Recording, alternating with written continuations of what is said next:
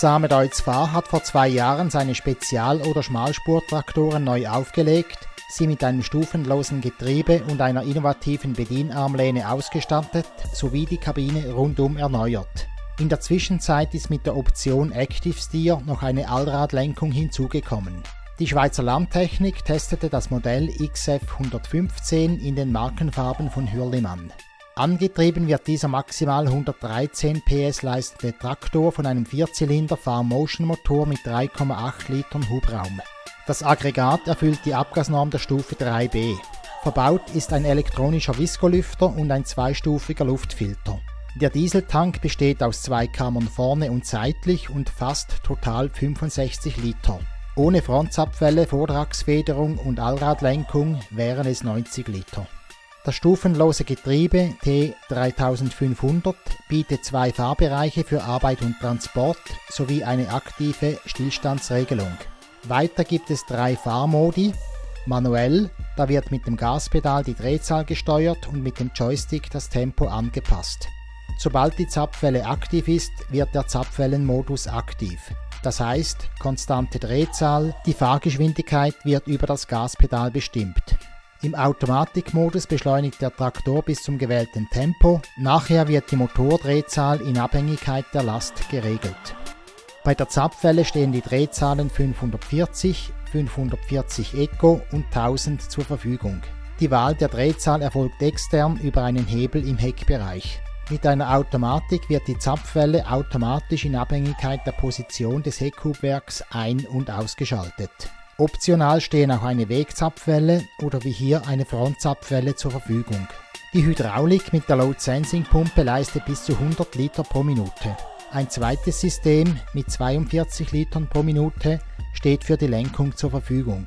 Bei den Steuerventilen gibt es eine Vielzahl von Möglichkeiten. Im Heck sind bis zu fünf elektrische, doppelt wirkende Steuerventile, vorne, hier beim Hubwerk von Sauter, maximal vier und in der Mitte drei von hinten duplizierte Steuergeräte verfügbar. Maximal sollen bis zu neun Steuergeräte parallel bedient werden können. Die auf Hydro-Silent-Blöcken gefederte Kabine bei Allradlenkung ist sie 13 cm enger, weist einen flachen Boden, vier Pfosten und leicht gewölbte Scheiben auf. Die einteilige Windschutzscheibe bietet eine optimale Sicht auf den vorderen und seitlichen Anbauraum. Die Klimaanlage kann man, nach einigen Handgriffen, nach oben schwenken. Dann kommt ein kleines Heckdachfenster zum Vorschein, das mehr Sicht bei Ladearbeiten offeriert.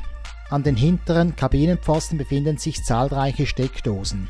Die Lenksäule lässt sich in Höhe und Neigung verstellen.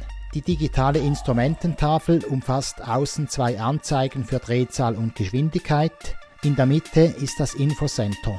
Es zeigt verschiedene Betriebszustände an und bietet zahlreiche Einstellmöglichkeiten. Auf der verschiebbaren 20 cm breiten Maxcom Armlehne sind fast alle Bedienfunktionen des Traktors enthalten. Auf dem Joystick können über 20 Funktionen, auf dem kleineren Kreuzhebel deren 8 frei programmiert werden.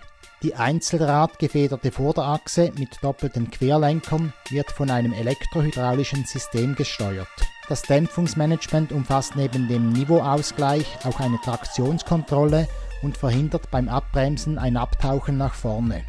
Eingebaut ist weiter eine progressive automatische Differentialsperre. Sie verhindert ein Durchdrehen nicht belasteter Räder, indem das Drehmoment auf die anderen übertragen wird.